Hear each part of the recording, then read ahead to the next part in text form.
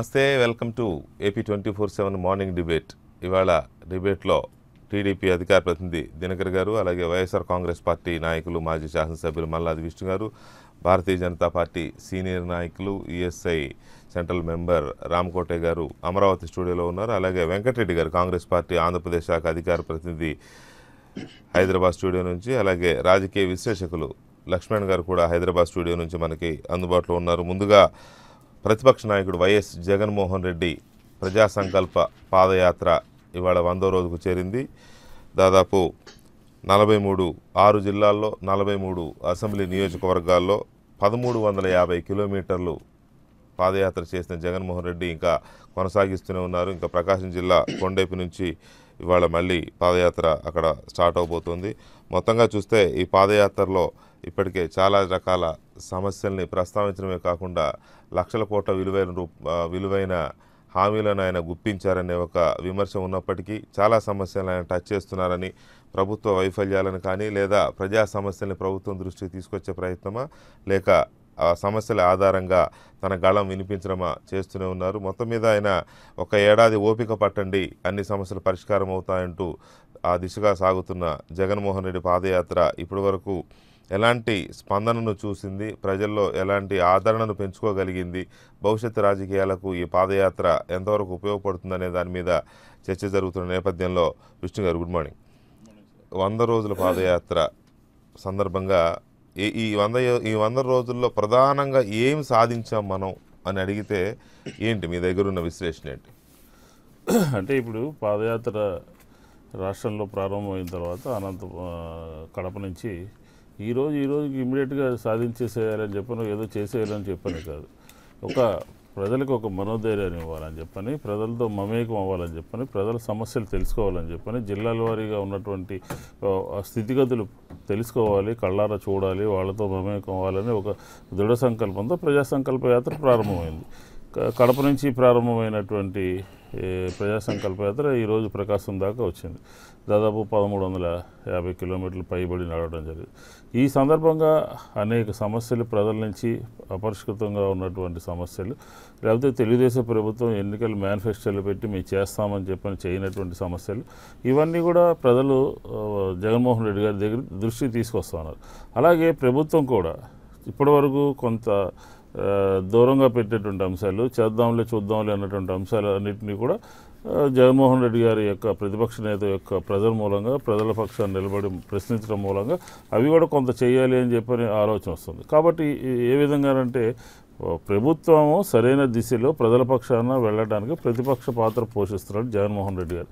దీంతోపాటు పెండింగ్ ప్రాజెక్టులు లేకపోతే రైతు రుణమాఫీ డాకా సంఘాల రుణమాఫీ లేకపోతే ఆయా జిల్లాల్లో ఉన్నటువంటి పరిస్థితులు ఇలా ఇవన్నిటిని కూడా ప్రస్తావిస్తూ ప్రభుత్వం ఆ విషయాల మీద అటెండ్ అయ్యే విధంగా చూసే బాధ్యత జగన్మోహన్ రెడ్డి గారు తీసుకుని ఒక పాదయాత్రని ఒక భరోసాగా ప్రజలకి ఒక భరోసాగా ఒక ధైర్యాన్ని ఇస్తూ ఒక మనో దీన్ని కల్పిస్తూ ముందుకు సాగుతున్నట్టుగా మనం వంద రోజులుగా చూస్తాను ఈరోజు వంద రోజు వంద రోజులు కూడా ప్రతి జిల్లాలోనూ కూడా అనూహ్యమైనటువంటి స్పందన. చూసుంటారు మీరు బహిరంగ సభలు ఏ విధంగా జరిగినాయి. ఆళ్ళగడ్డ కానీ లేకపోతే జమ్ముల మడుగు కానీ లేకపోతే అనంతపురంలో కానీ లేకపోతే నెల్లూరు చిత్తూరులో కానీ నిన్న కనిగిరిలో కానీ పొదిల్లో కానీ ప్రజల నుంచి విశేషమైనటువంటి మద్దతు స్పందన వస్తుంది. దీన్ని ఆధారంగా చేసుకుని ఒక రాబోయే రోజుల్లో ఏ విధంగా ఉండాలి పార్టీ ఏ విధంగా ఉండాలి ప్రజల పక్షాన్ని ఏ విధంగా నిలబడాలి అని చెప్పని కేంద్ర రాష్ట్ర ప్రభుత్వాలు ఇచ్చినటువంటి హామీల మీద నిలదీస్తూ ముందుకు సాగుతాం. మీరు మీరు పాదయాత్రకు ముందే జగన్మోహన్ రెడ్డి గారు గుంటూరు జిల్లాలో సభ పెట్టినప్పుడు నవరత్నాలు అనే ఒక ఎజెండాని అదే మెయిన్ మేనిఫెస్టో కాబోతుందని ప్రకటించారు. ఆ నవరత్నాల్లో సరే పేదలకు సంబంధించి వివిధ వర్గాలకు సంబంధించిన సమస్యలు ఇవన్నీ పథకాలు ఇవి చేస్తాం అనేది ఒకటి ప్రకటించుకున్నారు. బాగుంది. అది- మీ మేనిఫెస్టో అవుతుందని అది అందరూ అను అనుకున్నారు. కానీ పాదయాత్రకు వచ్చేసరికి వీటికి తోడు ఎక్కడికి వెళితే అక్కడ ఎవరు ఏది చెప్తే దాన్నే భుజాన వేసుకుంటూ అంటే ఇబ్బడి ముప్పడిగా హామీలు గుప్పించుకుంటూ వెళ్ళిపోతున్నారనే విమర్శ అది ఇప్పటికి దాదాపు ఆరు లక్షల కోట్లు దాటిందనేది ఒక అంచనా. వాస్తవాలు, అవాస్తవాలు పాదయాత్ర గెట్- అంటే గెట్టనటువంటి వాళ్ళు మాట్లాడేటువంటి కార్యక్రమం. ఎందుకంటే ఆయన మాట్లాడింది విద్య మీద వైద్యం మీద మాట్లాడటం జరిగింది. ఆ విద్య వైద్యం ఆంధ్ర రాష్ట్ర ప్రజలకి చాలా ప్రధానమైనటువంటి అంశాలు. కాబట్టి బడ్జెట్ సరిపోదని లేకపోతే అమలు కాని హామీలు ఇస్తున్నారని లేకపోతే ఆచరణ సాధ్యమైనటువంటి హామీలు ఇస్తున్నారు అని చెప్పని ఒక ఈర్ష్యతో ద్వేషంతో బురజల్లేటటువంటి కార్యక్రమం తీసుకున్నారు తప్ప ఖచ్చితంగా ఒక రాజకీయ పార్టీ అరవై ఏడు మంది శాసనసభ్యులు తొమ్మిది మంది పార్లమెంట్ సభ్యులు నలభై ఐదు శాతం పైబడి ఓట్లు ఉన్నటువంటి లీడరు ఒక మాట మాట్లాడేటప్పుడు దాన్ని ఏ విధంగా అమలు చేస్తారో తెలియకుండా మాట్లాడరు కదా. గతంలోనే ఇలా మాట్లాడారు. రాజశేఖర్ గారు ఉచిత విద్య ఇస్తానంటే ఆ రోజు అందరూ ఏమి మాట్లాడారో ప్రజలందరికీ కూడా తెలుసు. అది ఆయన చనిపోయినప్పటికీ కూడా ఈ రోజు కూడా అమలు జరుగుతుంది. కాబట్టి ఒక పొలిటికల్ పార్టీకి ఒక వ్యూహం ఉంటుంది దాని వెనకాల కొంతమంది హోంవర్క్ చేస్తారు దాని బడ్జెట్ దాని ఆర్థిక నిపుణులు ఉంటారు వాళ్ళందరి సలహాలు ఉంటాయి దాన్ని ఆయన ప్రజెంట్ చేస్తారు. కాబట్టి అది సాధ్యం కాదు ఇది సాధ్యం కాదు అని ఎవరైనా చెప్తే రాజకీయంగా అనుకోమనండి. మా మా పాత్ర వచ్చినప్పుడు మేము చేయాల్సిన ఉదాహరణకి ఉదాహరణకి ఇప్పుడు ఫార్టీ ఫైవ్ ఇయర్స్ కే పెన్షన్ అనే దాన్ని అది ఎంతవరకు సమర్థనీయం అది అది? బాగానే ఉంటుంది మీకు కూడా పెన్షన్ వస్తుంది. కాదు కాదు అది అది అది అదే ఉన్నది దాన్ని దాన్ని వ్యంగ్యంగా మాట్లాడడం అంటారు ఎందుకు అంటున్నానంటే దాని చేనేత కార్మికులకు సంబంధించి. అందులో ఇబ్బంది పడుతున్నటువంటి వాళ్ళు అలాగే దళితులు మైనార్టీలు లేకపోతే వెనుకబడిన తరగతి మహిళలకు మాత్రమే పెన్షన్ ఇస్తామని చెప్పడం జరిగింది. పెన్షన్ పెన్షన్ ఓవరాల్గా మొత్తం అంతా కూడా కాదు. No, no. కాదు. పెన్షన్లు ఇప్పుడు ఇస్తున్నది కూడా వాళ్ళకే. అలా అని కాదు దళితులు. మైనారిటీలు బలహీన వర్గాలు అలా లేదు. మహిళలు. అందరికీ ఇస్తారు. ఇప్పుడు అరవై అరవై సంవత్సరాలు నిండినటువంటి అందరికీ సమాజంలో ఇప్పుడు కూడా అదే పెన్షన్. దాన్ని ఆ మూడు వర్గాల వారికి కూడా అరవై నుంచి. నలభై ఐదు తెస్తామంటున్నారు లేదు తప్పది. ఆ- ఆ వర్గాలు దళితులు మైనార్టీలు వెనక వెనుకబడినటువంటి వారికి మాత్రమే నలభై ఐదు సంవత్సరాలకి అని చెప్పడం జరిగింది. మిగతా ఇన్ జనరల్గా అరవై ఐదు సంవత్సరాలు ఉన్నది అరవై సంవత్సరాలు చేస్తామని చెప్పడం జరిగింది. అది మా మా పాలసీ అది. కాదని చెప్తే చెప్పమని చెప్పండి ఎవరైనా. అది- అది policy, వదిలేస్తాం. అది- మా పాలసీ మా సిద్ధాంతం. మేము మేము మాకు అధికారంలో వస్తే కనుక ఇది చేస్తామని చెప్పాం. తప్పేం లేదు కదా. అది ఎట్లా. సాధ్యమవుతుందని రెండు సంవత్సరాల ముందే ప్రశ్నించాల్సిన అవసరం లేదు. రైట్ లక్ష్మణ్ గారు. వంద రోజుల జగన్మోహన్ రెడ్డి గారి పాదయాత్ర డెఫినెట్గా ఈ ప్రజా సంకల్ప యాత్ర ఒక సుదీర్ఘమైన పాదయాత్ర. ప్రజల్లోకి వెళ్ళి ప్రజా సమస్యలు తెలుసుకోవాలనుకోవడం ప్రజా సమస్యలు ప్రస్తావించడం దీ దీన్ని స్వాగతించాల్సిన పరిణామమే వంద రోజుల సందర్భంగా జగన్మోహన్ రెడ్డి గారికి శుభాకాంక్షలు తెలియజేయాల్సిన పరిణామమే నో డౌట్ కాకపోతే ఈ పాదయాత్ర సాగుతున్న తీరు మీద కానీ లేకపోతే వాళ్ళు ఎంచుకుంటున్న ఎజెండాల మీద కానీ మీ విశ్లేషణ ఏంటి? ఏ నాయ రాజకీయ నాయకుడికైనా ప్రజల మధ్యలోకి వెళితే నాయకుడిగా ఎదగడానికి ప్రజల సమస్యలని ఆయా ప్రాంతాల సమస్యలని ఆకలింపజేసుకుని తనకు తాను ఎదగడానికి అవగాహన పెంచుకోవడానికి దోహదపడుతుంది. తద్వారా మెరుగైనటువంటి నిర్ణయాలు రాజకీయంగా తీసుకోవడానికి ఆయా రాజకీయ పార్టీల విధానాలను రూపకల్పన చేసుకోవడానికి అది ఎంతో దోహదపడుతుంది. గతంలో అలాంటి అనుభవాలే ఆంధ్రప్రదేశ్లో ఉమ్మడి ఆంధ్రప్రదేశ్లో ఉన్నాయి. వైఎస్ రాజశేఖర రెడ్డి గారు కానీ చంద్రబాబు నాయుడు గారు కానీ ఆ తీరులో వారి వారి పార్టీల యొక్క ఆలోచన ధోరణిలో మార్పులు తీసుకొచ్చుకోవడానికి ప్రజల అనుకూల విధానాలను రూపకల్పన చేసుకోవడానికి దోహదపడ్డాయి. ఇవాళ వైఎస్ జగన్మోహన్ రెడ్డి గారు కూడా ఆ రూపంలో తనకు తాను రాజకీయ నాయకుడిగా ఎదగడానికి అది ఉపయోగపడితే మంచిదే. అది ఉపయోగపడాలని మనం కోరుకుంటున్నాం. రెండవది ప్రజల సమస్యలు ఈ యాత్ర ద్వారా వెలుగులేకొస్తే ప్రభుత్వం పైన ఒత్తిడి పడి ఆ సమస్యల పరిష్కారానికి ఏదో ఒక మేరకి దోహదపడుతుందనేటువంటిది సహజంగా మనం అందరం భావిస్తుంటాం. ఎందుకంటే ప్రభుత్వాలు స్పందించకపోతే ప్రజలు ప్రతిపక్షాల వైపున మొగ్గుతారు అది రాజకీయంగా నష్టం చేకూరుస్తుందనేటువంటి భావనతో ప్రభుత్వాలు స్పందించేటువంటి అవకాశం ఉంటుంది. ప్రజలకు ఆ మేరకు మేలు జరుగుతుంది. ఇవాళ ఆంధ్రప్రదేశ్ అనేది ఒక ప్రత్యేక నేపథ్యం ఉన్నది. కేంద్ర ప్రభుత్వం తీవ్రమైనటువంటి అన్యాయం చేస్తున్నది. విభజన చట్టంలో ఉండేటువంటి అంశాలను పూర్తి స్థాయిలో అమలు చేయడానికి వీలుగా ఆ రాష్ట్ర అభివృద్ధికి దోహదపడేటువంటి రీతిలో నిధులు కేటాయించడం లేదు అనేటువంటిది చాలా స్పష్టం. ఐదు కోట్ల మంది ప్రజలు మనోవేదనతో బాధపడుతున్నారు ఆగ్రహంతో పెళ్ళిబుక్కిపోతామన్నారు. భవిష్యత్ ఏంటని ఆలోచిస్తామన్నారు. అలాగే ప్రత్యేక తరగతి హోదా ఇవ్వకుండా దగా చేసి అభివృద్ధికి తోడ్పడడం లేదనేటువంటి కోపం ఇవాళ ఆంధ్రప్రదేశ్ ప్రజానికి అనుకున్నది. ఈ పూర్వరంగంలో కేంద్ర ప్రభుత్వం పైన ఎవరైతే గళం విప్పుతారో పోరాటం చేస్తారో హక్కుల కోసం నిలబడతారో ప్రజలని కూడగడతారో వారికి రాజకీయంగా ప్రజలు అండగా ఉండేటువంటి అవకాశం ఉన్నది.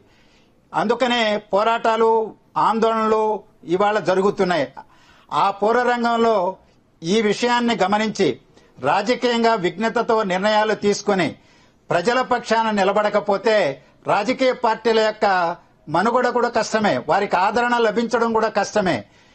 ఈరోజు ఆ- ఆ పూర్వ రంగంలో జగన్మోహన్ రెడ్డి గారి నిర్వహిస్తున్నటువంటి పాదయాత్ర పైన కూడా సహజంగానే ఈ రాజకీయ పరిస్థితులు భౌతిక పరిస్థితులు మ- ప్రజల యొక్క మనోభావాలు వాటి ప్రభావం కూడా ఉన్నది.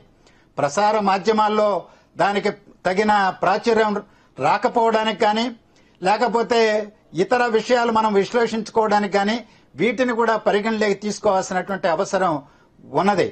ఎందుకంటే కేంద్ర ప్రభుత్వం చాలా దారుణంగా వ్యవహరిస్తున్నది అనేటువంటిది చాలా స్పష్టం. ఉదాహరణకి రాయలసీమ ప్రాంతంలో జగన్మోహన్ రెడ్డి గారు పర్యటన పాదయాత్ర చేశారు.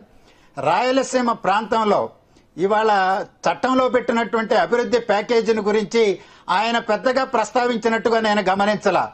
ఏడాదికి యాభై కోట్లు ఇచ్చి జిల్లాకి యాభై కోట్లు ఇచ్చి మూడేళ్ళుగా కేవలం వెయ్యి యాభై కోట్లు ఇచ్చేనటువంటి కేంద్ర ప్రభుత్వాన్ని గట్టిగా నిలదీసినటువంటి ఘటన నేను గమనించలేదు. అలాగే కడప ఉక్కు ఫ్యాక్టరీ పారిశ్రామికం ఒక్క నిమిషమే. పారిశ్రామికంగా వెనుకబడినటువంటి ప్రాంతం కరువు పీడిత వెనుకబడినటువంటి ప్రాంతం ఒక్క ప్రభుత్వ రంగ పరిశ్రమ కూడా లేదు. కడపలో ఉక్కు పరిశ్రమ వస్తే దాని చుట్టూ ప్రైవేటు పెట్టుబడులు కూడా వస్తాయి. ఈ రోజు దానిపైన గట్టిగా నిలదీసేటువంటి పరిస్థితి నాకు కనిపించలా. మనవరం ప్రాజెక్టు. రాజశేఖర రెడ్డి గారి కాలంలోనే మొదలైంది. వంద వంద యాభై కోట్లు ఖర్చు పెట్టి ప్రహరీ గోడలు కట్టినటువంటి స్థితి ఇవాళ కేంద్ర ప్రభుత్వం దాన్ని అటకెక్కించింది. దాని మీద గట్టిగా మాట్లాడినట్టుగా నేను గమనించాల. అందువల్ల అంటే కేంద్ర ప్రభుత్వం చేస్తున్నటువంటి అన్యాయాన్ని చూపుతున్నటువంటి వివక్షతను ప్రశ్నించకుండా వెనుకబడినటువంటి ప్రాంతాల్లో పాదయాత్ర చేసినప్పుడు ప్రజలు కూడగట్టుకోవచ్చు ప్రజలు రావచ్చు అది వేరే విషయం.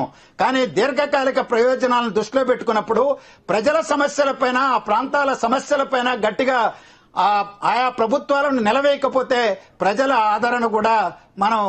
ఆలోచించాల్సినటువంటి పరిస్థితి వస్తుంది. రైట్ విష్ణు గారు ఇక్కడ లక్ష్మణ్ గారు చెప్పే దాంట్లో ఏంటంటే మ్, పాదయాత్ర ఉంది జనం రావచ్చు స్పందన ఉండొచ్చు ఒక ప్రజా నాయకుడిగా ఎవరైనా దాన్ని స్వాగతించాల్సింది కానీ ఫోకస్ అంతా లోకల్గానే ఉంటుంది. అంటే చంద్రబాబు నాయుడు లేకపోతే స్టే రాష్ట్ర ప్రభుత్వం ఈ రాజకీయ పరమైన దీని మీద ఫోకస్ పెడుతున్నారు తప్ప అసలు చేయాల్సిన కేంద్రాన్ని నిలదీయడం లేదు ప్రశ్నించడం లేదు అనేది లక్ష్మణ్ గారి విశ్లేషణ.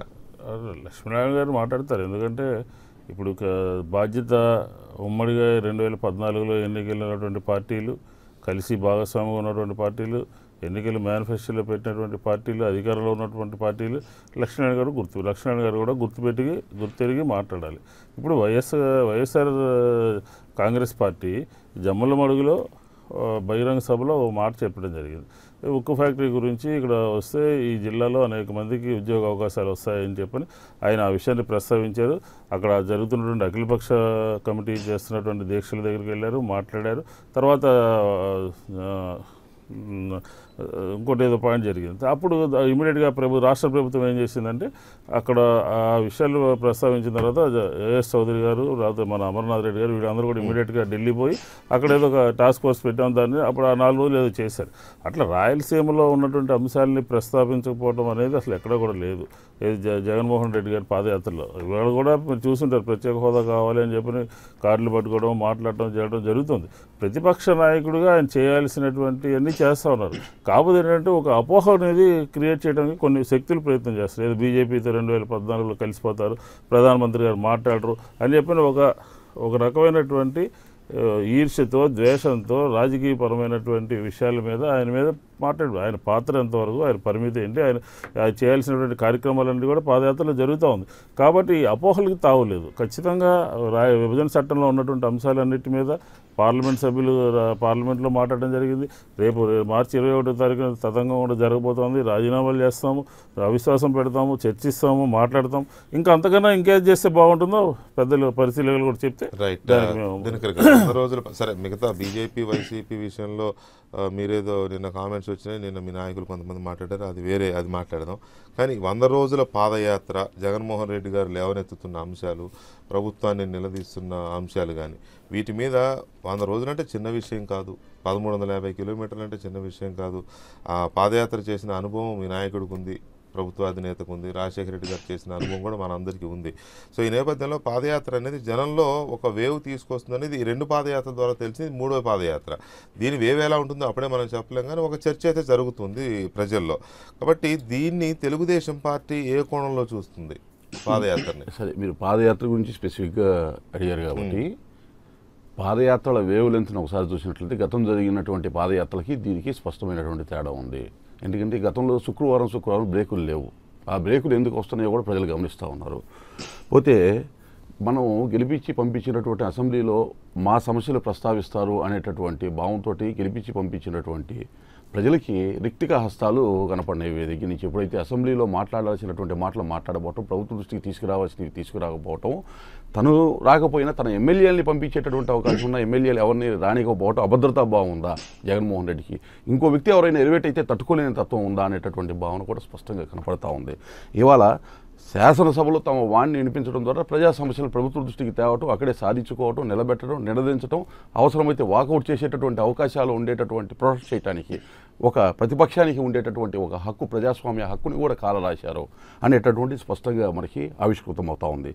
మరొకటి ఏంటంటే సరే ఆయన నడిచేటటువంటి క్రమంలో ఈ మధ్య ఒకరు చెప్తున్నారు ఒక పెద్దావిడ వ్యాధిగ్రస్తురాలు తన దగ్గరికి వచ్చి చావు బతుకుల్లో ఉండేటటువంటి తన పరిస్థితిని ప్రభుత్వం దృష్టికి తీసుకెళ్ళాలి అనేటటువంటి ప్రయత్నం ఆమె చేస్తే నేను సీఎం అయిన తర్వాత నీ ఆరోగ్యాన్ని కుదుర్తుపరుస్తాను అనేటటువంటి రకమైనటువంటి హామీలు ఇస్తూ ముందుకు నడిచేటటువంటి క్రమం ఏదైతే ఉందో అది కూడా ప్రజలు గమనిస్తున్నారు. నేనే సీఎం నేనే సీఎం అని చెప్పేటటువంటి మానసిక స్థితి నేనే సీఎం నేనే సీఎం అనేటటువంటి మానసిక స్థితి దాని నుంచి బయటపడలేనటువంటి పరిస్థితి. ఈ విధమైనటువంటి విధానంలో సీఎం అవ్వాలి కదా. ఇప్పుడు అంతే. తన కదా? నో- ఇప్పుడు మీరు ఉన్నారండి మీరు కొన్ని సమస్యలు ఐడెంటిఫై చేశారు. ఐడెంటిఫై చేసినప్పుడు ఆ అధికారం మీ చేతిలో ఉంటేనే వాటిని పరిష్కరిస్తారు కదా. ఆయన సీఎం అవ్వాలనుకోవడంలో తప్పేంటి? నేను నేను తప్పట్టట్లేదండి నాకు కూడా అనిపించవచ్చు ఎవరికైనా అనిపించవచ్చు. ఇప్పుడే కాని దాన్ని ఇప్పుడే అనుకునేటటువంటి ఊహల్లో తేలేటటువంటి విధానం అయితే మటుకు ప్రజలు అవడానికి చేసే. ప్రయత్నం ఏది. రాజ్యాంగపరమైనటువంటి హక్కులు నేను ప్రధానాన్ని ఇప్పుడు నేను అనుకోలేను. ఎవరైనా అనుకుంటే ఇంకో రకంగా ఆలోచిస్తారు నన్ను. మీరు- నేను నథింగ్ ఆయన ప్రతిపక్ష నాయకుడు అరవై ఏడు మంది ఎమ్మెల్యేలు నెక్స్ట్? అధికారం అని అనుకోవడం తప్పేంటి? ఎగతాళి చేయాల్సిన అవసరం next, not next. అంటే మీరు record not next now now itself ఆయన మాట్లాడిన మాటలు. How can. Now how can how can now ఇప్పుడే. అదే నేను అనుకోవట్లేదు. మీ ఛానల్ అయితే విశాఖపట్నంలో అప్పుడు AP twenty four seven open కాలేదు. మీరు ఆ క్లిప్పింగ్ విశాఖపట్నంలో ఆయన మా ఎయిర్పోర్ట్లో మాట్లాడి ఒకసారి తెప్పించుకొని చూడండి. దానిలో కనపడతాయి. స్పష్టంగా ఆయన కడప ఉక్కు ఫ్యాక్టరీ నుంచి ఏదైనా మాట్లాడి మాట్లాడలేడు. ఎందుకంటే బ్రహ్మనిస్టీస్ కనపడుతుంటుంది ఆయన మాట్లాడాలని అంటే దానిలో చేసినటువంటి కిట్ ప్రోక్యోలు కనపడుతుంటాయి. దాని మీద వచ్చినటువంటి ఆరోపణలు కనపడతాయి. దానిలో ఉన్న సిబిఐ కేసులు కనపడతాయి. అది ఒకటి. ఇందాక పెద్ద లక్ష్మీనారాయణ గారు చెప్పినట్టు ఎస్ అభివృద్ధి ప్యాకేజీకి సంబంధించి రాయలసీమకి సంబంధించి ఉత్తరాంధ్రకి సంబంధించి సరే ఉత్తరాంధ్రకి ఇంకా ఆయన ఎంటర్ కాలేదు. రాయలసీమకి సంబంధించి ఏదైతే చట్టంలో చెప్పినటువంటి విధంగా ఫార్టీ సిక్స్ సెక్షన్ ఫార్టీ సిక్స్లో చెప్పినటువంటి విధంగా అభివృద్ధి ప్యాకేజీ అనేది స్పష్టంగా ఆ ప్రాంత అభివృద్ధికి సంబంధించినది. వాటికి అసిస్ట్ చేసి ఇరవై మూడు వేల ఐదు వందల కోట్లు ఏదైతే ఉందో బుందేల్ఖండ్ తరహా కేబీకే తరహా అనేటటువంటి దాన్ని ప్రధానమంత్రి గారు స్పష్టత ఇచ్చారు రాజ్యసభలో ఆ రోజు. ఎందుకంటే ఈ చట్టంలో ఇచ్చినటువంటి ఆ సెక్షన్లో దాన్ని విపులీకరించబోవటం వల్ల నిలదించ మనం నిలబెట్టి అడిగినప్పుడు వెంకయ్యనాయుడు గారే అడిగారు. నిలబెట్టి అడిగింది ఇక్కడ స్పష్టత లోపిస్తుందని. అన్నప్పుడు ఆరు పాయింట్లో ఒక పాయింట్గా కేబీకే తరహా బుందే ఆ, బుందేల్ఖండ్ తరహా అని చెప్పినప్పుడు దాని ద్వారా జనాభా ప్రాతిపదికన లెక్కిస్తే ఇరవై మూడు వేల ఐదు వందల కోట్లు మనం పంపించడం జరిగింది. కానీ కేంద్ర ప్రభుత్వం దగ్గర నుంచి ఏమైందంటే యాభై కోట్లు లెక్కన ప్రతి సంవత్సరం జనరల్గా వెనకబడిన జిల్లాలన్నిటికీ దేశం మొత్తం ఇచ్చేటటువంటిది. ఈ ప్యాకేజీకి దానికి సంబంధం లేదు. సరే అది అదే అదే దానికి సంబంధించి ఇప్పుడు రైజ్ చేశారు. ఆ ప్రాంతానికి సంబంధించి ఆ విధమైనటువంటి స్పష్టత ఆయన మాట్లాడలేదు ఎక్కడ.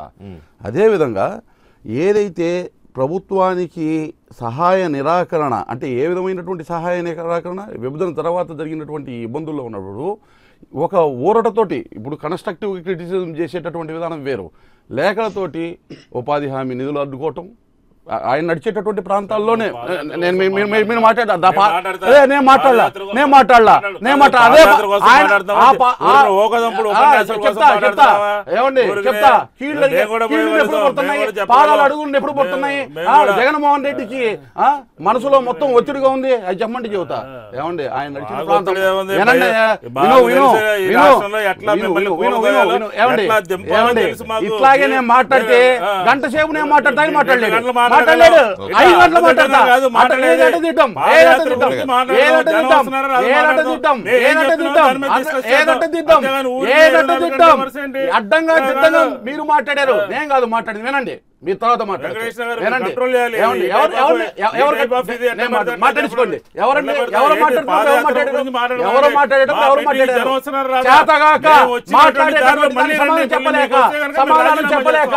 సమాధానం చెప్పలేక పెట్టిన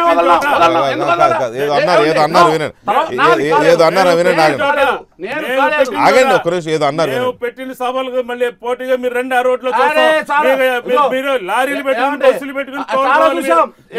కౌంట్ డౌన్ మీది మీది. కౌంట్ డౌన్ అంతే. మా. పాదయాత్ర. ద్వారా తెలుగుదేశం కౌంట్ డౌన్ అనేది లెక్క పెట్టుకోండి. మా యాత్రలు మా కనిగిరి గాని మా పొదిలు గాని మా ఆళ్ళగడ్డ గాని మా జమ్మల మడుగులో గాని చిత్తూరులో గాని మీ సొంత జిల్లాలో గాని జరిగినటువంటి సభలకి మళ్ళీ మీరు జనాల్ని తోలుకునే కూడా అంతమంది రారు. వంద రోజుల పాదయాత్ర ఎఫెక్ట్ అది.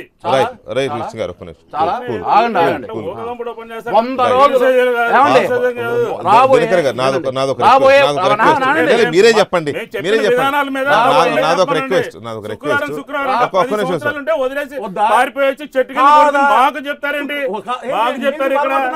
పది సంవత్సరాలు ఉంటే పది శుక్రవారం అంటే అంత భయం వస్తుందా? శుక్రవారం. అంటే అంత బెరుకు పుడుతుందా. మోడీ గారి. గురించి ఆ బండారం? కూడా బయట పెడతా. ఆ బండారం కూడా బయట పెడతా? ఆ పేపర్ ఒకసారి తర్వాత ఇప్పుడు కాదు, ఒకసారి అది ఇప్పుడు ఇవ్వండి కాదు తర్వాత కానీ. సరే విష్ణు గారు రైట్. ఇక్కడ నా నా నా రిక్వెస్ట్ ఒక్క- నిమిషం, ఒక్క మీరు నిమిషం. విష్ణు గారు. ఒక్క- విష్ణు గారు? దయచేసి ఒక్క నిమిషం. విష్ణు గారు ఒక్క నిమిషం. ఒక్క నిమిషం. దినకర్ గారు. మీరు మీరు కూడా నా రిక్వెస్ట్ అనుకోండి సూచన అనుకోండి. మనం పాదయాత్ర మీద వంద రోజులు ఆయన ఒక బాధ్యత గల ప్రజా నాయకుడు ప్రతిపక్ష నాయకుడు. డెఫినెట్గా ఆయన చేసే ప్రతి కా- ఆరోపణ మీద కావచ్చు ప్రతి అడుగు మీద కావచ్చు చర్చ ఉంటుంది. మీకు ఇష్టం ఉన్నా లేకపోతే చర్చ ఉంటుంది. నేను అదే అదే. దాన్ని దాన్ని ఏదో అవహేళన చేసే రకంగా కాకుండా ఒక క్రిటిసిజం మీరు అన్నారు నిర్మాణాత్మకమైన ఆ, విమర్శ అసెంబ్లీలో మాట్లాడింది చెప్తున్నాడు ఈయన. అన్నారు కదా.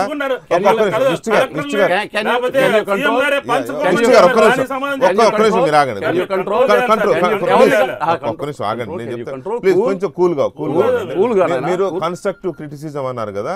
మీరు కూడా అలాగే ఒకవేళ ఆయన పాదయాత్రలో ఏమైనా క్రిటిసిజం చేయాలనుకుంటే కన్స్ట్రక్టివ్గా చేయండి. అవహేళన చేసే విధంగా కాకుండా ఎస్ ఆయన శుక్రవారం వెళ్తున్నాడంటే ఉన్నాయి కేసులు ఉన్నాయి ఆయన ఎక్కడ దోషిగా తేలలేదు. కేసులు నడుస్తాయి? చాలా మంది రాజకీయ నాయకులు తిరుగుతున్నారు.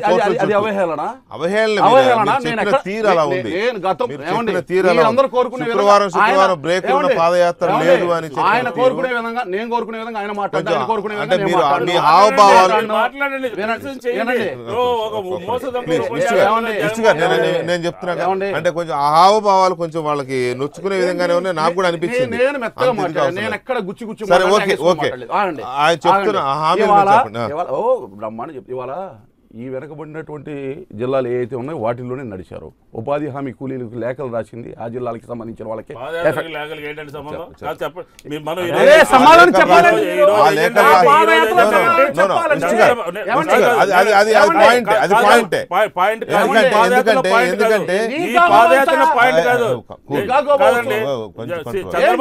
చంద్రబాబు నాయుడు? గారు. చంద్రబాబు నాయుడు గారు చెప్పారు. ఇచ్చిపుచ్చుకోండి ఆయన చాలా మాట్లాడాడు. ఆయన ఈయన అనుకోండి తప్పలేదు. అనమంటారా యూజ్లెస్ ఫెలో అని. ఫారెస్ట్ ఫెలో అని అనమంటారా కాదు చంద్రబాబు మీకు? యూజ్లెస్. ఫెలో ఫెలో ఫెలో నేను అనమంటారా నేను అనలేను వద్దులే వద్దు. కానీ ఇప్పుడు. వద్దు కానీ. ఆవేశంలో ఒక మాట అంటే పది వస్తాయి హౌస్లో మాట్లాడిన దాని గురించి చెప్పారు ఓకే ఓకే ఓకే విష్ణు గారు ఏమండి? కాదు, అలా కాదు. సంయమనం. నాకు అర్థమవుతుంది ఉపాధి హామీ. గురించి జరిగిందా లేదా అవినీతి జరిగిందా కొంచెం సంయమనం. చంద్రబాబు నాయుడు గారు చెప్పారు అధికారులు వస్తున్నారు? జాగ్రత్త జాగ్రత్తగా ఏమండి? Teleconference teleconference please. మీరు వచ్చారు. కొంచెం సంయమనంతో ఉండండి ప్లీజ్ ఎవరు ఉండాలి. అనేటటువంటి వ్యక్తి ఇద్దరు అనకూడదు ఇద్దరు విష్ణు గారు కూడా మాట అన్నారంటే ఆవేశం అన్నారు అనకూడదు. ప్లీజ్ ఏదైతే ఉపాధి హామీకి సంబంధించి లేఖలు రాసి అడ్డుకొని ఆ కూలీలు పొట్ట కొట్- కొడుతున్నటువంటి క్రమంలో మేము రేజ్ చేసినటువంటి దానిలో కేంద్ర ప్రభుత్వం వచ్చి విచారణ చేసిన తర్వాత నిధులు రిలీజ్ చేశారు. దానికి క్షమాపణ చెప్పమని నడిచే దగ్గర. మీ మీకు ఇన్ని రోజులు ఆపినందుకు లెటర్లు రాసి ఈ ఈ కనిగిరి ఆ ప్రాంతంలో ఈ విధంగా మీ కడుపు కొట్టాను క్షమాపణ. ఓవరాల్గా ఓవరాల్గా?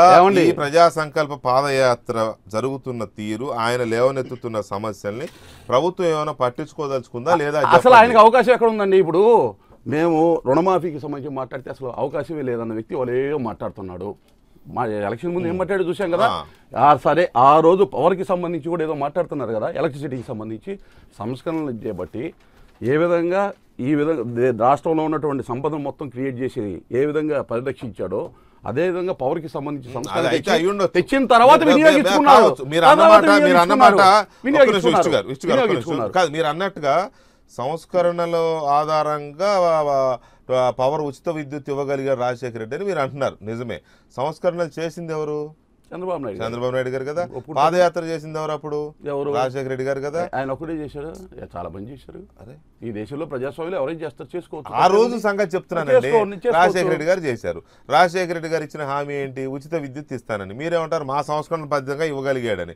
అంటే సంస్కరణల యొక్క రిజల్ట్ ఒక్క నిమిషం సార్ ఒక్క నిమిషం. సంస్కరణల రిజల్ట్ ఆగండి. సార్ ఆగండి సార్. సంస్కరణల రిజల్ట్ ఎలా ఉంటుందో మీకు ఎక్కువ తెలియాలి ఆయనకంటే. ఆ రోజు రాజశేఖర రెడ్డి గారి కంటే. కానీ మీరేమన్నారు ఆ రోజున? ఉచిత విద్యుత్ బట్టలు వేసుకోవాలి తీగల మీద అన్నారు. ఇవాళ ఏమైంది. కంటిన్యూ అవుతుందా లేదా? అంటే ఆ పరిస్థితి నుంచి బయటికి తీసుకొచ్చేటటువంటి మా సంస్కరణలు ఉపయోగపడినవి. అదే ఆయన- ఆయన గమనించాడు మీ మే- సంస్కరణ మేమేం రిజల్ట్ చేశామంటే, మీ మాటల ఇప్పుడు- ప్రకారం. ఇప్పుడు నేను చెప్తానేనండి ఇప్పుడు నేను చెప్తానేనండి. చేయండి. దానికి ఎక్కడ పాదయాత్ర మీద కంక్లూడ్ చేయండి. You have given so many interruptions ఏమి ఇవ్వలేదు, మీరే దాన్ని ఎటో ఏమి లేదు తీసుకెళ్ళారు. ఏం లేదు. నేను గెలుపుతా ఇక్కడి నుంచి మొదలవుద్ది ఇప్పుడు. మొదలవుద్ది. ఎవరు? యూజ్లెస్ ఫెలో అంటే యూజ్లెస్.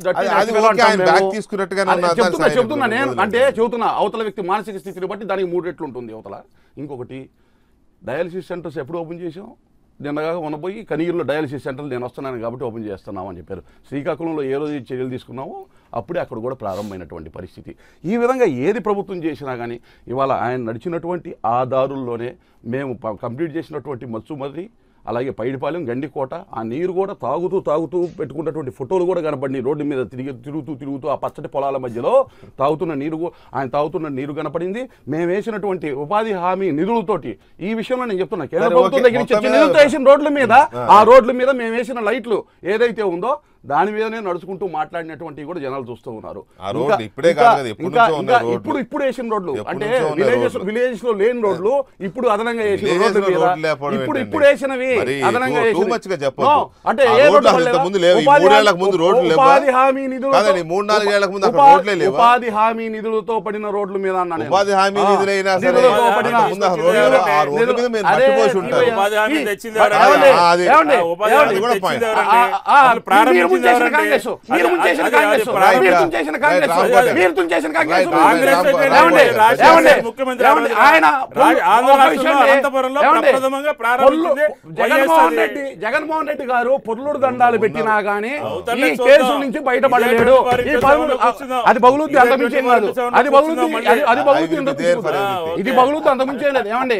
ఏమండి? ఇది బగులుద్ది అంత మించి లేదు. ప్రజలు చీత్కారానికి గురయ్యారు. గతం కన్నా చీత్కారము ఎప్పుడైతే శాసనసభలో ఫెయిల్ అయ్యాడో రామ్- రామ్కోటి గారు. ప్రజల రా- వినిపించడానికి రా- రామ్కోటి గారు, తిరస్కారానికి ఇంత- గురయ్యాడు. రామ్కోటి గారు ఇంత హీటెడ్గా వెళ్తున్నారంటేనే సిచ్యువేషన్ మనం అర్థం చేసుకో ఏపీలో ఉన్న పొలిటికల్ సిచ్యువేషన్.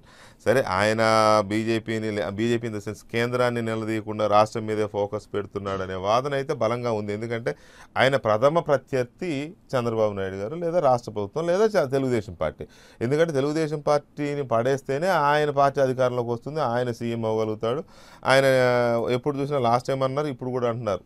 ఒక ఏడాది ఆగండి అనేది అప్పుడు అన్నారు ఇప్పుడు అంటున్నారు.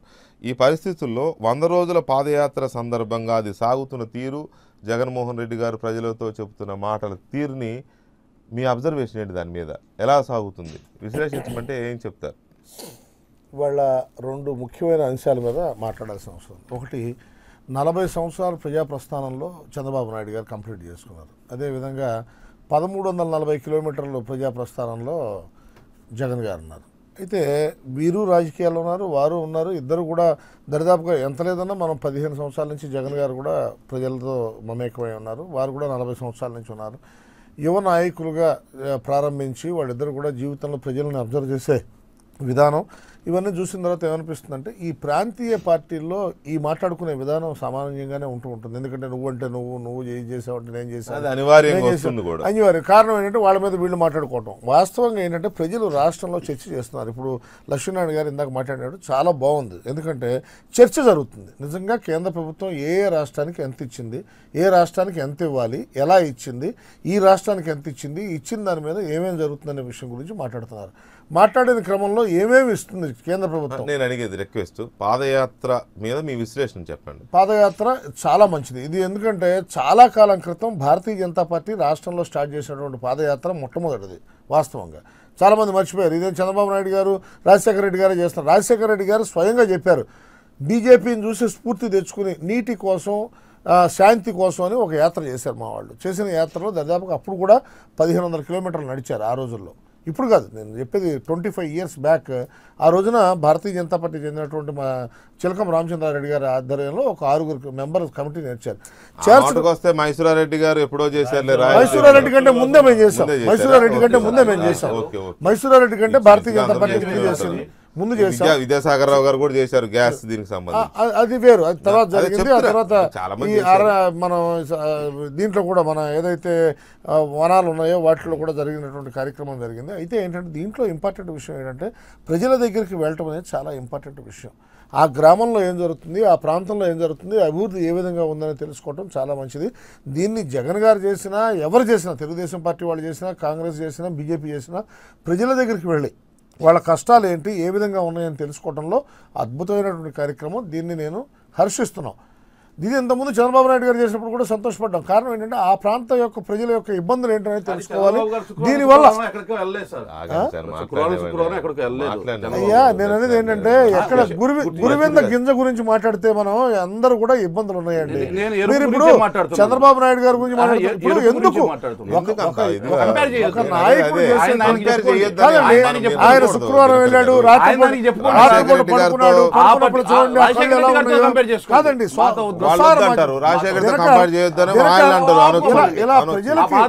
ప్రజలకు గురించే ఉపయోగపడేటువంటి విషయాల గురించి మాట్లాడేటప్పుడు వాళ్ళని వ్యంగ్యంగా మాట్లాడటం ఇబ్బందికరమైన విషయం. మీరు అర్థం చేసుకోండి. ఎందుకంటే మీరు మాట్లాడుతుంది ఇప్పుడు ఎవరిది? వాళ్ళు చెప్పుకుంటారు. మా అభిప్రాయం మేము చెబుతున్నప్పుడు.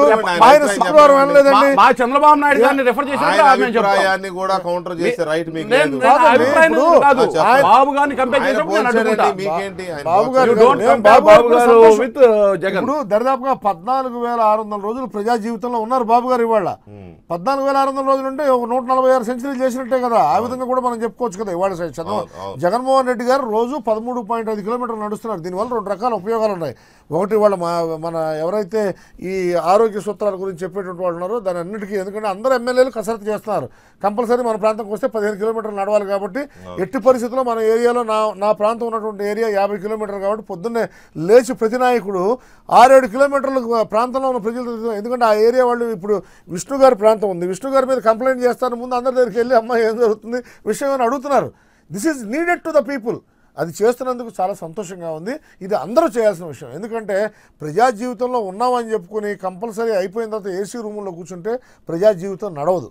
కంపల్సరీ ప్రజల దగ్గరికి వెళ్తేనే వాళ్ళ సమస్య తెలుస్తుంది. ఆర్టీసీ బస్సులో ప్రయాణం చేస్తేనే సమస్య విషయం తెలుస్తుంది. ఆ పక్కన కూర్చున్న వాడి సమస్య ఏంటో తెలిస్తేనే తెలుస్తుంది. ఇప్పుడు ఏమైందంటే కంప్యూటర్ అయిపోయి మనం కంప్యూటర్లో కూర్చుని సెల్ ఫోన్లో మాట్లాడుకున్నాం తప్పితే పక్క వాడి సమస్యలు మనకు అర్థం కావట్లేదు. అవి కూడా వాట్సాప్లో వస్తేనే మనకు విషయాలు తెలుస్తున్నాయి. కాబట్టి ఏంటంటే ఈ ప్రజా ప్రస్థానంలో ప్రజా జీవితంలో ఎవరైతే ముందుకెళ్ళి వాళ్ళు నడుస్తారో వాళ్ళకి కంపల్సరీ ప్రజలు పట్టం కడతారు. ఎందుకంటే నిజంగా ఇందాక నాకు విష్ణు గారు చెప్పిన ఒక విషయం ఎక్కడ ప్రజలను తోలుకు రావట్లేదు తోలుకొస్తే అన్ని వేల మంది లక్షల మంది జనాభా ఉండరు. నేను ఇది జగన్ గారి గురించి చెప్పట్లా. ఇది ఎవరు చేసినా చంద్రబాబు నాయుడు గారు ఎక్కడికైనా వెళ్ళినా కూడా ప్రజలు వాళ్ళంతా వాళ్ళు వచ్చారనుకోండి వీ యాక్సెప్ట్ ఇలాంటి తీరు భారతదేశం మొత్తంలో మోడీ గారి యొక్క సభలకు రావడం నేను అబ్జర్వ్ చేశాను. పర్సనల్గా దరిదాపుగా రెండు వందల సభలు నేను అబ్జర్వ్ చేస్తే అక్కడికక్కడ జనాలు తమిళనాడులో అయితే బిర్యానీ బీరు ఇవ్వందే ఎవరు రారు ఇక్కడ మాత్రం ఇవ్వకుండా వచ్చేస్తున్నారు ఇక్కడ ఆంధ్రప్రదేశ్లో అలాంటి తీరులో ఇవాళ మోడీ గారు ఏం అదంటే పాదయాత్ర కాబట్టి ఆన్ ది వే ఎక్కడికక్కడ గ్రామాల నుంచి ప్రజలు వస్తారు అది స్పాంటేనియస్ కదండి అదేనండి కదండి సి పాదయాత్రలు ఎలా ఉంటుందంటే ఓ నియోజకవర్గం మీదుగా సాగుతున్నప్పుడు మనిషి. ఆ చుట్టుపక్కల గ్రామాల వాళ్ళు ప్రజలు కూలీలు కదా? వస్తారు గొప్ప విషయం కదండి? మీరు పెట్టే బహిరంగ సభలకి బీరు బిర్యానీ ప్రజలు? అమాయకులు గారు ప్రజలు అమాయకులు గారు? వాళ్ళ యొక్క సమస్యలు? చెప్పు వాళ్ళ సమస్యలు ఆ విషయంలో మాట్లాడదు నేను ఈ విషయంలో కాదు మీరు అక్కడెక్కడ తమిళనాడులో చేశారు అని చెప్తున్నారు మీరు. ఇక్కడ మాత్రం బిర్యానీ పొట్టాలు ఇవ్వకుండానే జనం వస్తున్నారా? ఇక్కడ మీరు లారీలు పెట్టి తరలించకుండానే వస్తున్నారా? మేము తరలించడం కదండి అదే అంటున్నా. ఆయన. మా సభలకి మా సంగతి మీకు తెలుసు. మేము ఎవరిని తరలించాల్సిన అవసరం లేదు. కానీ కార్యకర్తలు వస్తానంటే కాదనేది లేదు. ఎందుకంటే కొంతమంది కార్యకర్తలు చూడాలనే తాపత్రయం. ఇప్పుడు మాకు రాజమండ్రిలో సభ అయింది. మేము కూడా ప్రజలు. డిఫరెంట్ థింగ్ కాదు. ఈ సందర్భంగా ఈ సందర్భంగా వచ్చే వేలాది మంది జనాభా వాళ్ళ యొక్క సమస్యలు చెప్పడం అది వింటాం. దానికి సంబంధించింది. కానీ ఏంటంటే మౌలిక సదుపాయాల విషయంలో గ్రామాల్లో ఏం జరుగుతుందనే విషయం గురించి ఆరా తీస్తున్నారనే విషయం కూడా అర్థమైంది. ఎందుకంటే నేను వచ్చినప్పుడు చేస్తాను ఇందాక మీరే పాయింట్అవుట్ చేశారు. నేను వచ్చినప్పుడు చేస్తానంటే తనకు అవకాశం లేదు. అమ్మ అప్పుడు అప్పటిదాకా ఉండు నేను చేస్తాననే మాట భరోసా ఇస్తున్నారు. కానీ దీన్ని ఇలా కాదు. మనం ఏంటంటే ఇలా కాకుండా ప్రజలకి నేను ఇస్తాను నేను చేస్తానని కాకుండా వాళ్ళకి వాళ్ళుగా ఉపాధి సొంతంగా చేసుకోవడానికి కావాల్సినటువంటి ఆలోచన ప్రభుత్వం దృష్టికి తీసుకెళ్తానను లేకపోతే అప్పటికప్పుడే ఒక ఈ దినకర్ లాంటి వాళ్ళని అడిగినా కూడా చెబుతారు. మంచి ఎందుకంటే వీళ్ళు అపోజిషన్లో ఉన్నా కూడా మంచి కార్యక్రమం చెప్పడానికి సిద్ధంగా ఉన్నాడు మనవాడు అందుకోసం ఎట్టి పరిస్థితుల్లో ఇలాంటి కార్యక్రమాలు చేయాల్సిన అవసరం ఉంది. కానీ వెయ్యికి రెండు వేలు ఇస్తాను మీకేం పర్లేదు మీ కళ్ళ నీళ్ళు తీరుస్తాను మీకు అన్నం అన్నం తీసుకొచ్చి మీ నోటి దగ్గర పెడతాను ఇలాంటి వద్దు చేయొద్దు ఎందుకంటే జగన్మోహన్ రెడ్డి గారు కూడా నేను రిక్వెస్ట్ చేసుకుంటున్నాను. మల్లాది విష్ణు గారు మీరు కూడా అవకాశం ఉంటే చెప్పండి. ఎక్కువ ఎక్కువ వాగ్దానాలు ఇచ్చి ప్రజల్ని మోసం చేయొద్దు హామీల విషయంలో మాత్రం అభిప్రాయం సర్వత్రా. హామీలు ఎక్కువ ఇచ్చి ప్రజల్ని? మోసం అవును, చేయదు అవును. మనకు ఉన్నటువంటి బడ్జెట్ ఎంత మనం ఎంత మనం కేంద్రం నుంచి ఏం తీసుకురాగలం ఎలా చేయగలం ఏ విధంగా అభివృద్ధి కార్యక్రమాలు చేయగలం? ఇక్కడ- ఈ విషయాలు ఇక్కడ చెప్పాలి. ఒక్క- ఒక్క ఇవన్నీ point. నోటికి వచ్చిన ప్రతిదీ హామీలా. ఇవ్వడం కూడా. ఏమీ లేకుండా ప్రజలు. అసాధ్యమైన హామీలను ఇవ్వలేను అని చెప్పిన నాయకుడే ఇప్పుడు ప్రతిదీ అడిగిందే తడవుగా అన్ని ఇచ్చేస్తాను అనడం మరి అప్పుడు నవరత్నాలు తొమ్మిది- ఇస్తేనే ప్రజలు ఒక పాయింట్ ఎవరు ఏ యాత్రలు చేసినా లిమిటెడ్ ఏరియాలోనే ఎన్ని కిలోమీటర్లు ఎన్ని వేల కిలోమీటర్లు తిరిగినా కొన్ని నియోజకవర్గాలే కొన్ని లిమిటెడ్ పీరియడ్లోనే వాళ్ళు మూవ్ కావడం జరుగుతుంది. ప్రతి పార్టీకి ఇక వాళ్ళ డైరెక్ట్గా ప్రతిపక్షం వాళ్ళు ఉన్నారు మాకు. వాళ్ళకు ఉండే అభిమానులు వాళ్ళకు ఉంటారు వివిధ నియోజకవర్గాల్లో. ఫర్ ఎగ్జాంపుల్ కందుకూరు అనే నియోజకవర్గానికి వచ్చారు ఆయన. వచ్చినప్పుడు ఏం జరుగుతుందంటే ఒంగోలు లేదు అద్దంకి లేదు పడుచూరు లేదు ఇటువంటి ప్రాంతాల్లో చీరాల్లో లేదు. ఐదు వందల మంది ఐదు వందల మంది ఆయా దగ్గరలో నలభై యాభై కిలోమీటర్ల పరిధిలో ఉన్నటువంటి ఆ ప్రాంతానికి వస్తారు. వస్తారు అది కాబట్టి అలా వస్తారు అలా చెప్పే లెక్కలో కానీ మనం చూస్తే నలభై ఏడు వేల రెండు వందల కిలోమీటర్ల. అలా వస్తారని చెబుతున్నాను. దయచేసి అర్థం చేసుకోండి. దయచేసి అర్థం చేసుకోండి. చేసుకో. దాంట్లో చెప్పిన దాంట్లో వాస్తవమే ఉంది. అందులో తప్పే తప్పు కూడా లేదు. ఎవరైనా వస్తారు. ఒక రోడ్డు మీద వెళ్తున్నప్పుడు ఆ చుట్టుపక్కల ప్రాంతాల్లో ఉన్న వాళ్ళు సమీపంలో వాళ్ళ పార్టీకి. సంబంధించిన. దానికి ఏదో ఏదో జరిగిపోయింది అన్నట్టుగా. చంద్రబాబు నాయుడు గారికి అలాగే వచ్చారు. రాజశేఖర రెడ్డి ఆ, గారికి కూడా అలాగే వచ్చారు. అలాగే వచ్చారు. ఇప్పుడు మీకు వెంకటరెడ్డి స్వయం గారు. ప్రకటిత అభిమానం మీకు వెంక- ఏమైనా ఉంటే ప్రకటించుకోండి. నాకే స్వయం తీస్తా, అది కూడా తీస్తా బయటికి. వాళ్ళే రెండు రోజులు ఎంత అడిగారు. అడిగింది ఒకటండి రెండు రోజులు ఎంత అడిగారు నాలుగు అని చెప్పడం తప్పైతే తినక నేనేం చెప్పలేదు it, నాకేం leave it. నాకేం ఎ- ఎ- జగన్మోహన్ రెడ్డి ఎవరి మీద విజ్ఞత ప్రత్యేక వాళ్ళ అభిమానం ఏమండి లేదు. లేదు. ఆ- ఆ- ఆ లెక్కన నాకేం చెప్ప- లేదు. రెండు రెండు నాలుగే కానీ రెండు రెండు నాలుగు ఇంకో మూడు మూడు ఆరు ఆరు ఆరులో ఉన్న ఆరు ఈ ఆరులో ఉన్న నాలుగు కలిపి పది అంటే మటుకు కుదరదు. ఏ అరకు ఆరే. మూడు మూడు మూడు అప్పుడు సరే ఇది పెద్ద. సరే మూడు ప్లస్ మూడు ఆరు రెండు ప్లస్ రెండు నాలుగు అండి. ఆర వేరు ఈ వేరు రెండు ఏ ఆరకు ఆర మాట్లాడేటప్పుడు రెండు అరలు కలిపి పది అని చెప్తే నేను ఇంటానికి సిద్ధంగా లేను. రైట్ రాంపతి ఓకే వెంకటరెడ్డి గారు వెంకటరెడ్డి గారు పాదయాత్ర వంద రోజులు ప్రజా సంకల్ప పాదయాత్ర వంద రోజులు సాగుతున్న తీరు కానీ ప్రజలతో జగన్మోహన్ రెడ్డి మమేకమవుతున్న తీరు కానీ ఇస్తున్న హామీలు కానీ ఈ మొత్తంగా చూసినప్పుడు కాంగ్రెస్ పార్టీ దీన్ని ఎలా ఎలా విశ్లేషిస్తుంది? ఇది భవిష్యత్తులో ఏ పరిణామాలకు దారితీస్తుంది? రాజకీయంగా. వెంకటకృష్ణ గారు అక్కడ ఉన్న వాళ్ళందరికీ గుడ్ మార్నింగ్ అండి. ఇక్కడ ఈరోజు మీరు పెట్టిన చర్చ పాదయాత్రకు సంబంధించి. జగన్మోహన్ రెడ్డి గారి పాదయాత్ర వంద రోజులైన సందర్భంగా పెట్టిన చర్చ. సో దానికి సంబంధించినంత వరకే మాట్లాడుకుందాం. ఈరోజు నాలుగు అంశాలు ముఖ్యంగా చర్చలో ఈ వంద రోజుల పాదయాత్ర సందర్భంగా చూసినట్టుగా నాలుగు అంశాలు ముఖ్యంగా.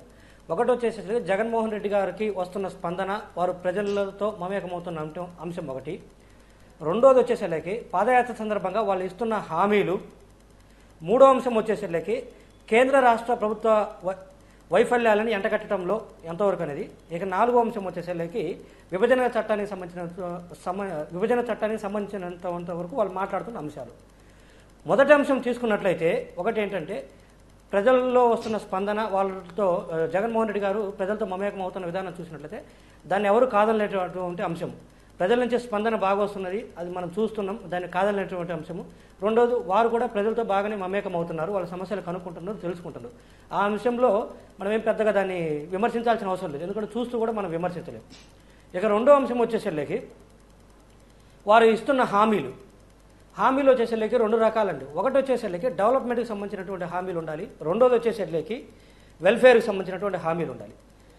ఇక్కడ డెవలప్మెంట్కి సంబంధించినటువంటి హామీలు చూసినట్లు ఎక్కడ కూడా జగన్మోహన్ రెడ్డి గారు డెవలప్మెంట్ ఆస్పెక్ట్ని కంప్లీట్గా వదిలేసినట్టు కనపడుతుంది. ఇదిగో నేను వస్తే ఇది చేస్తాను. ఒక క్యాపిటల్ కడుతున్నాను లేకపోతే ఇంకొక ఆ, బ్రిడ్జిలు కడుతున్నాడు పెద్ద రోడ్ చేస్తున్నాడు లేదా ఏదైనా సరే ఒక డెవలప్మెంట్ యాక్టివిటీకి సంబంధించినటువంటి ఎక్కడ కూడా ఒక హామీ కూడా మనకు కనిపించట్లేదు. ఇక వెల్ఫేర్కి సంబంధించినటువంటి చూసినట్లయితే సరే జనాలు చెప్పినట్టు ప్రజ టీడీపీ వాళ్ళు చెప్పినట్టు ఆరు లక్షల కోట్లు ఐదు లక్షల కోట్లు కాపోయినా ఓవరాల్ చూస్తే నేను ఒక లెక్క వేసుకుంటే రెండు లక్షల కోట్ల రూపాయలు అయితే దాడుతుంది. అంటే ఇప్పుడున్న వెల్ఫేర్ ప్రోగ్రామ్స్ కాక వారు అడిషనల్గా ఇచ్చినవి చూసినట్లయితే ఒక రెండు లక్షల కోట్ల రూపాయలు దాడుతుంది. ఓన్లీ ఏది ఇప్పుడున్న ఇప్పుడు ఏదైతే గవర్నమెంట్లో ఇస్తున్న వెల్ఫేర్ ప్రోగ్రామ్స్ వాటికి మించి ఇంకొక రెండు లక్షల కోట్లు అధికంగా వస్తున్నాయి. అంటే అవి ప్లస్ ఇవి ప్లస్ ఎంప్లాయీ శాలరీస్ పెన్షన్స్ మళ్ళీ డెవలప్మెంట్ చూస్తే దాదాపు ఐదు లక్షల కోట్ల రూపాయలు దాటడానికి అవకాశం ఉంది. జగన్మోహన్ రెడ్డి గారు ఒకవేళ అధికారంలోకి వస్తే సో మన మన రెవెన్యూ ఎటు చూసినా కూడా ఒకవేళ భవిష్యత్తులో పెరిగినా కూడా రెండు లక్షల కోట్ల రూపాయల కంటే దాటడానికి లేదు. ఇక అప్పు తీసుకురావాలన్నా కూడా ఇప్పటికే మన ఎఫ్ఆర్బిఎం లిమిట్స్ దాటిపోయినాయి. కొత్తగా అప్పులు పుట్టడానికి కూడా అవకాశం లేదు. సో ఆ నేపథ్యంలో చూస్తే ఈ హామీలు నెరవేర్చడానికి అనేది practical impossible so Jaganmohan Reddy గారికి ఈ రోజు ఉన్నది ఏంటంటే విశ్వసనీయత. మరి వారు ఇవన్నీ దృష్టిలో పెట్టుకుని కూడా ఈ హామీలు ఇచ్చినట్టయితే బాగుంటుంది. రేపు వారు కూడా మరి వీళ్ళ మాదిరి కలిసిపోతే అంటే అవకాశం ఉంది కలిసిపోవడానికి ఇక మళ్ళీ విశ్వసనీయత అనే మాటకు అర్థం లేదు. ఇంకా చెప్పకూడదు. ఇది రెండో అంశం. ఇక మూడో అంశం వచ్చేసరికి కేంద్ర రాష్ట్ర ప్రభుత్వ వైఫల్యాలను ఎండగట్టడం అంటే ఇక రాష్ట్ర ఈ అంశం చర్చించాలంటే రాష్ట్ర ప్రభుత్వ వైఫల్యాలని ఎండగట్టడంలో ఒక్క శాతం కూడా తను వెనక ఎక్కడ కూడా వెనకున్నాడని అనుకోలేదు. వంద శాతం ప్రభుత్వం రాష్ట్ర ప్రభుత్వం ఏదైతే వైఫల్యాలు ఉందో వంద శాతం ఎండగడుతుందో అది ప్రజల దృష్టికి తీసుకెళ్తుండు. ఇక అందులో చర్చ లేదు రెండో అంశం లేదు. బట్ కేంద్ర ప్రభుత్వ వైఫల్యాలను చూసినట్లయితే ఒక రాష్ట్ర ప్రభుత్వాన్ని విమర్శించిన దాంట్లో కనీసం పది శాతం కూడా లేదు. వివిధ అంశాలు ఇంకా నేను పేర్లు చెప్పదలుచుకుంది. ఏ అంశం చూసుకున్నా కూడా అందులో రాష్ట్ర ప్రభుత్వం ఓ వైఫల్యాన్ని ఎండగట్టిందంటే పది శాతం కూడా కేంద్ర ప్రభుత్వ వైఫల్యాన్ని ఎండగట్టలేదు. ఎందుకంటే జగన్మోహన్ రెడ్డి గారు ఈరోజు ఒక శాసనసభలోనే కాదు ప్రతిపక్షం వాళ్ళ పార్టీ. పార్లమెంటులో కూడా వాళ్ళ పార్టీ ప్రతిపక్ష స్థానంలో ఉంది. ఒక ఎనిమిది మంది ఎంపీలు గెలుచుకొని. చిన్న విషయం ఏం కాదు తెలంగాణలో ఒకటి తీసుకుని తొమ్మిది మంది ఎంపీలతోటి ప్రతిపక్షం అక్కడ కేంద్ర ప్రభుత్వంలో కూడా వాళ్ళు ప్రతిపక్షంలో ఉన్నారు. అక్కడ వైఫల్యాలను కూడా ఇంతే బాధ్యతగా ఎండగట్టాలి. కానీ దీంతో రాష్ట్ర ప్రభుత్వం చూస్తే పది శాతం కూడా వాళ్ళు ఎండగట్టట్లేదు. అక్కడ అది ఆలోచించాల్సిన అంశం. ఇక నాలుగో అంశం వచ్చేసరికి విభజన చట్టానికి సంబంధించినటువంటి. విభజన చట్టానికి సంబంధించిన అంతవరకు చూసినట్లయితే ఒక్క ప్రత్యేక హోదా అనే అంశాన్ని తప్పితే జగన్మోహన్ రెడ్డి గారు మిగతా ఏదైతే దాదాపు ఒక పంతొమ్మిది అంశాలు మనకు విభజన చట్టంలో చెప్పబడిన ఉన్నాయో ఆ అంశాలకు ఎక్కడ వాటికి సంబంధించి ఎక్కడ కూడా వారు గట్టిగా అడగట్లేదు. ఎందుకంటే మనకు ప్రత్యేక హోదా ఎంత ఇంపార్టెంటో విభజన చట్టంలో చెప్పబడిన ఆ పంతొమ్మిది అంశాలు కూడా అంతే ఇంపార్టెంట్ అంటాం కానీ మీరు విభజన చట్టాన్ని ఒక్కటే అంటే ప్రజల్లో సెంటిమెంట్ ఉందనో అదైతే ఈజీగా అర్థమవుతుందనో ఆ అంశాన్ని తీసుకుంటున్నారే తప్పితే మిగతా పంతొమ్మిది అంశాలని ఎక్కడ కూడా గట్టిగా అడిగినా దా- మన ఆనవాళ్ళు కనిపించట్లేదు. సో ఇట్లా చూసినట్టయితే కంపల్సరీ ఇప్పుడు ప్లస్ల కంటే మనకు మైనస్లు మనం చూసుకోవాలి. ఈ రోజు ప్రతిపక్షంలో ఉన్నప్పుడు విభజన చట్టంలో పంతొమ్మిది హామీలు అడగాలి కేంద్ర ప్రభుత్వాన్ని అదే స్థాయిలో ఎండగట్టాలి అదేవిధంగా డెవలప్మెంట్ ప్రోగ్రామ్స్ కూడా మీ ప్రభుత్వం వస్తే ఏందో చెప్పాలి. ఎందుకంటే ప్రజలు మారుతున్నారండి. ఒకప్పుడు రేషన్ ఇస్తానంటేనో వెల్ఫేర్ ప్రోగ్రామ్స్కి ఆశపడేవారు. ఇప్పుడు అట్లా కాదు డెవలప్మెంట్ కోరుకుంటున్నారు. అది ఎంతో ఇది కూడా అంతే కోరుకుంటున్నారు. సో ఈ అంశాలను కూడా దృష్టిలో పెట్టినట్టయితే బాగుంటుంది. అలా కాకుండా ఒకే ఊకదంపుడికి వెళ్ళినట్లయితే నమ్మే పరిస్థితిలో ఉండరనేది నా అభిప్రాయం. రైట్. ఇంకా అంశం ఇంకొక అంశంలో